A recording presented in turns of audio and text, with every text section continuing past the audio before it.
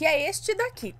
Meus pais e as vizinhas maledites. Oi, Ana, estou tentando escrever esse relato há dois anos. Porém, há vários acontecimentos que poderiam se dividir em vários outros relatos, mas deixarei tudo junto. Já aviso que o relato pode ser longo e não haverá nomes. Se houver, estarão todos trocados. Lembrando que são fatos que ocorreram desde os anos 80 até pouco tempo atrás. Ou seja, o babado não para nunca. Mas vamos lá então, peguem a pipoca. Residimos na capital. falo, não falo? Tá. Residimos na capital do Rio Grande do Sul. Meus pais se mudaram. estou escutando Marília Mendonça agora. Matheus está ouvindo e automaticamente estou ouvindo também aqui. Amor.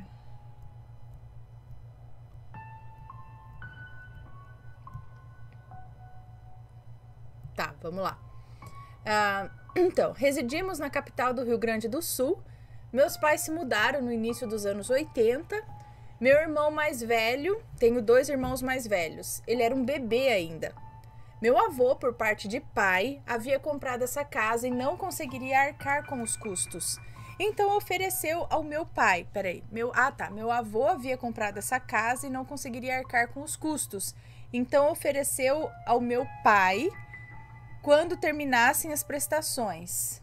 É, então ele ofereceu ao meu pai, quando terminassem as prestações, passaria para o nome dele, do meu pai. Não foi o que aconteceu. O velho faleceu e até hoje é uma resenha essa casa. Então meus pais se mudaram com meu irmão e com a minha bisavó, a quem tive a enorme felicidade de conhecer. Meus pais nunca foram de religião antes de começar a acontecer as coisas em nossa família. Porém, minha bisa era benzedeira. O pátio era todo aberto dessa casa. A única casa que tinha pátio aberto naquele bairro, qualquer um poderia entrar livremente, sabe? Minha bisa plantava ervas medicinais, chás, verduras, legumes e árvores frutíferas no terreno.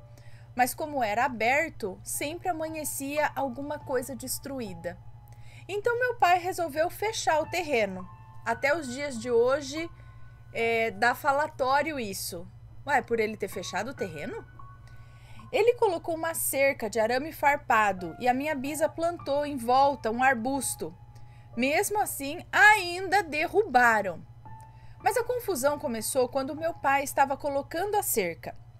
Nessa época já tinha o meu outro irmão e minha mãe estava no hospital para dar a luz a mim. Todos os vizinhos ao redor eram de religião. Eu não tenho nada contra, tá? Só para esclarecer mesmo. A nossa casa é de esquina e o terreno é enorme. Nos fundos havia uma vizinha. Ao lado, colada ao nosso muro, havia outra vizinha. Na rua lateral, o terreno dava de frente para três vizinhas e de frente pegava três vizinhas também.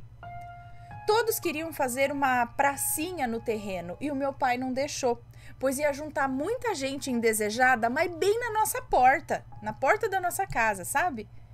Então essa foi a briga inicial para tudo naquela época.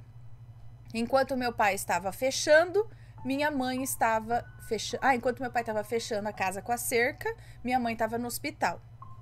Logo que ela saiu, os vizinhos de todos os lados se juntaram para desmanchar a cerca e dar no meu pai, e dar no meu pai, tipo, e bater nele? Observação: meu pai é militar.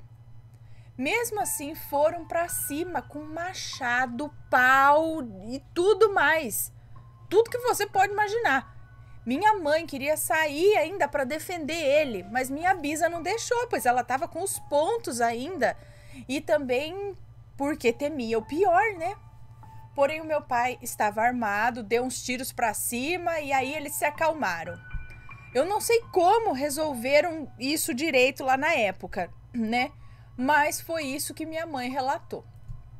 Mesmo cercando a entrada lateral da nossa casa e da frente, não havia por... é, é, mesmo cercando a entrada lateral da nossa casa e, e, a, e da frente e a frente, não havia portão. Quer dizer que poderiam entrar mesmo assim. A vizinha dos fundos havia falecido há alguns anos, é, alguns anos antes do ocorrido. Quem morou ali por um tempo foi a minha falecida madrinha. Depois outra família foi para lá. A vizinha da rua lateral, que dava de frente para nossa porta, a vizinha da rua lateral que dava de frente para nossa porta, que vou chamar aqui de fulana, e a do lado dela, de frente para o terreno que foi cercado, que vou chamar aqui de bruaca, as principais da história, tá? A bruaca fazia os trabalhos e quem entregava e colocava no pátio era a fulana. Ah tá, a fulana pois se fazia de amiga da minha mãe. A fulana se fazia de amiga da minha mãe e, e, de, e largava os trabalhos aqui, ou na casa, né? Eu não lembro muita coisa dessa época, ainda bem, pois os trabalhos caíam em mim. O primeiro que a minha mãe relatou foi que eu fiquei com uma febre muito forte e girava minha cabeça e eu girava minha cabeça em cima da cama, é isso? Até hoje, aquele quarto tem uma energia estranha, para falar a verdade. Mas nós não demos mais bola. Então, minha mãe recorreu a uma prima dela para desfazer o trabalho, e aí voltou tudo ao normal. A segunda coisa que ela me relatou foi que eu estava brincando de subir em árvore. Era um cinamomo, é isso? Tinha cascos grossos. Cinamomo? O que, que é? cinnamon, é, canela, enfim. O que? Não sei o que, que é. Cinamomo. Ele tinha, é, tinha cascos grossos e meus irmãos haviam colocado pregos grandes para subir. O que aconteceu? Resbalei no prego e fez uma ferida. Eu tinha dois anos. Porém, aquela ferida se alastrou pelo corpo, só que de um lado só. A outra metade estava limpa. Minha mãe disse que eu não abria os olhos nem a boca de um lado. Tinha dificuldade para comer e para respirar. Me levaram no médico, fiquei internada para descobrirem o que era. Não era tétano, era estafilococcus, é, é, estafilococcus raro, áureo, enfim. É, era uma. É, é isso mesmo. Chegaram a mandar uma amostra para um laboratório no exterior mas demoraria para retornarem.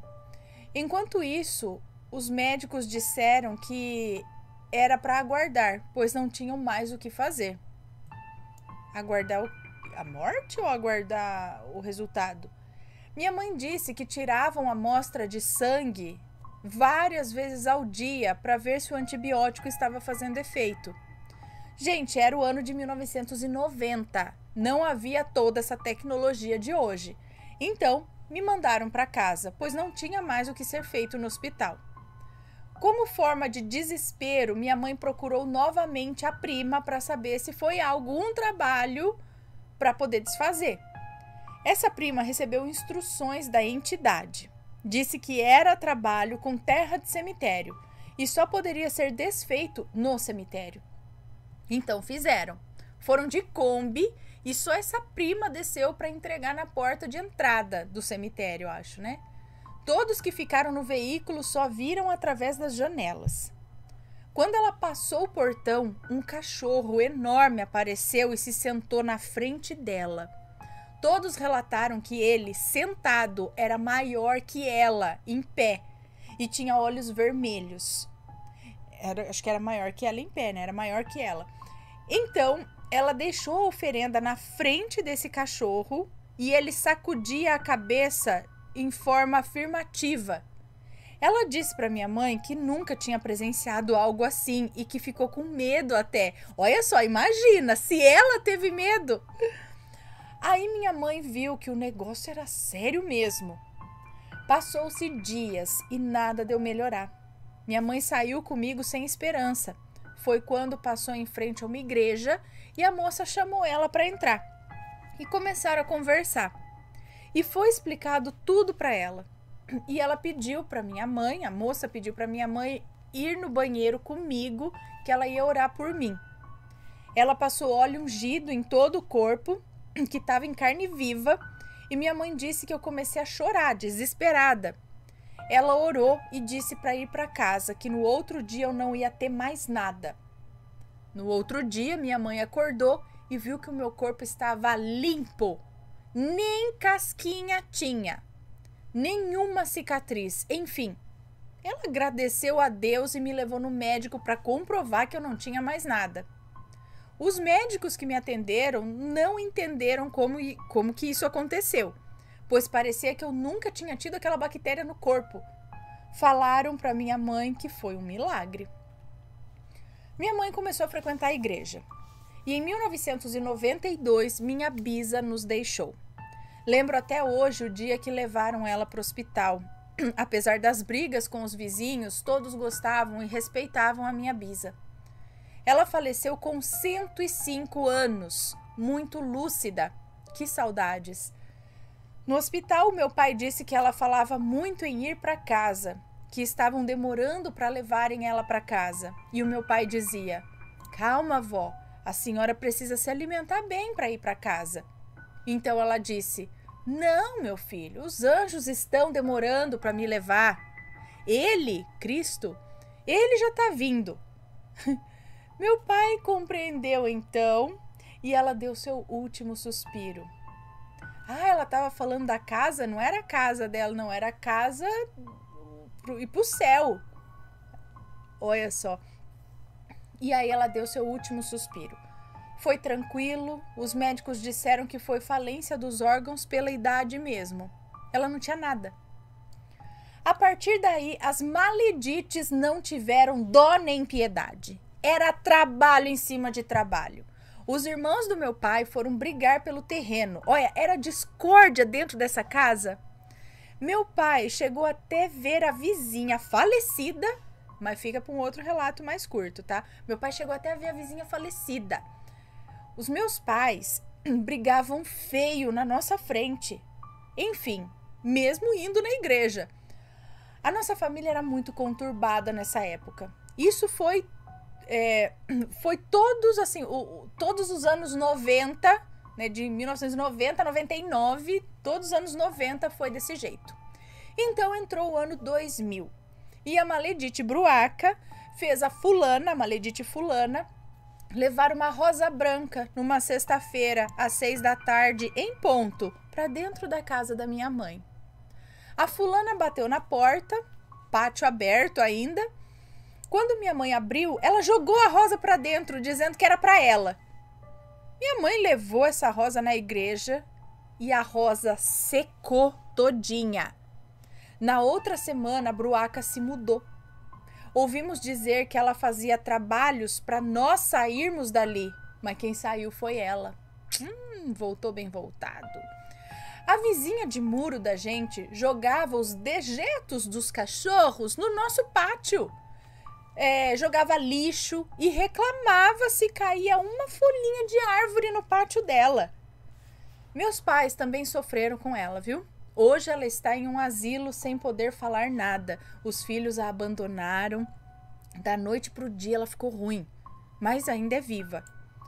Bom, dois vizinhos de frente se mudaram e o da terceira casa, dois faleceram. Ficou só o filho deles morando ali. E a fulana mesmo após a mudança da bruaca, ela continuou fazendo trabalhos para nós. Volta e meia encontrávamos objetos em nosso pátio, a água utilizada para o banho dela, elas, eles jogavam na nossa calçada que tinha grama. Já me falaram que não poderiam fazer isso, mas, né? Uh, como? É, A água utilizada para o banho dela, eles jogavam na nossa calçada que tinha grama. E já me falaram que não poderiam fazer isso. Enfim, a última a última tacada dela, ou a última tentativa dela em fazer o mal para minha mãe, foi um trabalho de morte, gente. Foi antes dos meus pais fecharem totalmente o terreno. Ela atravessou a rua comendo carne de capivara quem gosta é o meu pai, não a minha mãe, tá?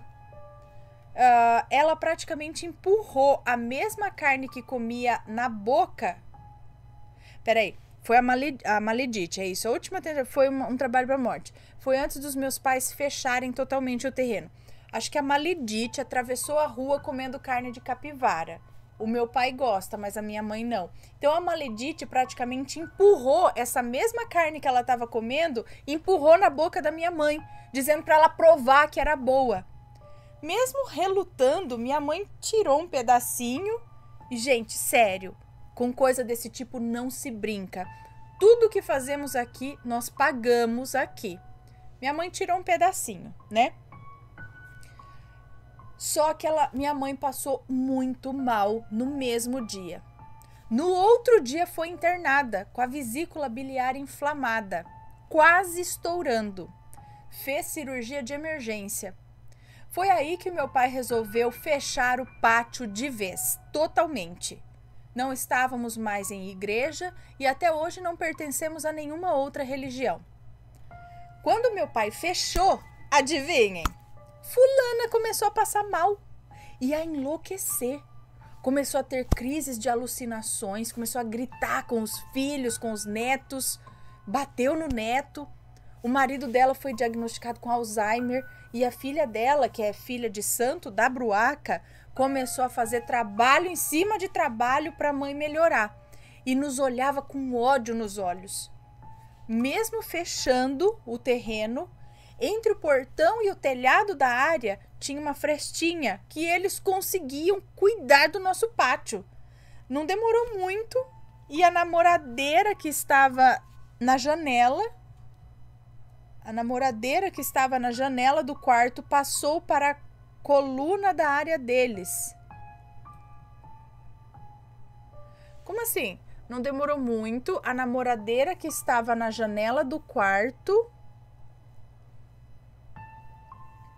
Pera, a, namo a namoradeira é um, um banco, é isso? Tipo um, um banco assim. Essa namoradeira estava na janela do quarto dos vizinhos que passou para a coluna da área deles, é isso? A visão da namoradeira ficou bem nesse espaço. Então resol... eles tipo passaram o banco lá para ficar sentado assuntando a fresta da casa para olhar o que acontecia lá dentro. Misericórdia. Então resolvemos colocar um TNT para tampar a visão total.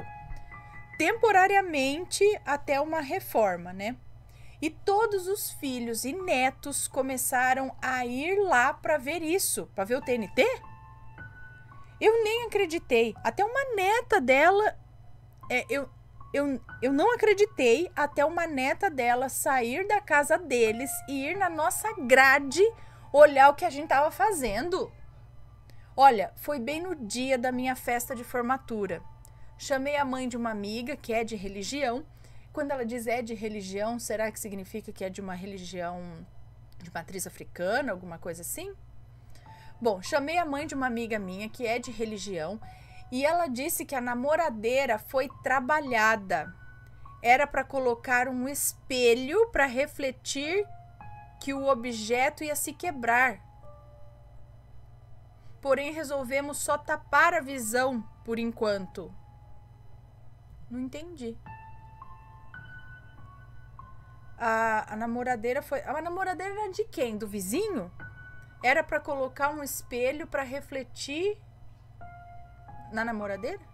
Que o objeto ia quebrar, porém resolvimos só. Ta... Pera aí, a namoradeira tinha um trabalho na namoradeira que era do vizinho. Aí era para eles colocarem um espelho para refletir a namoradeira, então ia quebrar a namoradeira. Mas eles só taparam a visão com TNT. É isso? Não sei, não entendi, gente. Até hoje, todos os vizinhos que restaram daquela época agem como se a parte do terreno cercada fosse deles também. Fazem churrasco na calçada, às vezes colocam lixo lá, deixam os cachorros fazer as necessidades ali. Mas a gente não dá mais bola, pois se eles querem utilizar o local, vão ter que limpar depois. Meus pais não brigam mais por conta de calçada. Há poucos meses, minha mãe ainda achou uma moeda enferrujada no muro e meu sobrinho uma chave enferrujada na frente do portão. Minha outra sobrinha achou um crânio de um animal enterrado. Oi, Ana, só babado. Infelizmente, tudo que fazemos para os outros de ruim, pagamos. Infelizmente, não, felizmente. É a lei do retorno. Hoje, todas essas pessoas estão mal de saúde. Mas nunca, não fomos nós que desejamos o pior ou o mal a nenhuma delas. Isso apenas retornou de um modo ruim. Sei que o relato ficou longo, espero que tenham gostado. Tenho muitos outros dessa época que aconteceram comigo e com os meus pais, mas são mais sobrenaturais. Obrigada, Ana e Matheus, por esse espaço onde podemos compartilhar nossas experiências de forma séria. Grata pelo trabalho de vocês. Que vocês sejam cada dia mais abençoados. Um grande beijo a todos os assombrados. Um beijo para você, muito obrigada.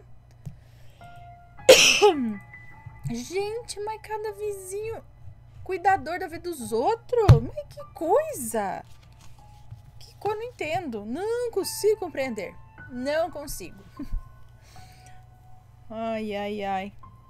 Depois tá aí, tudo pendengando na vida. Não sabe por quê. Ai, gente. Mas vamos lá.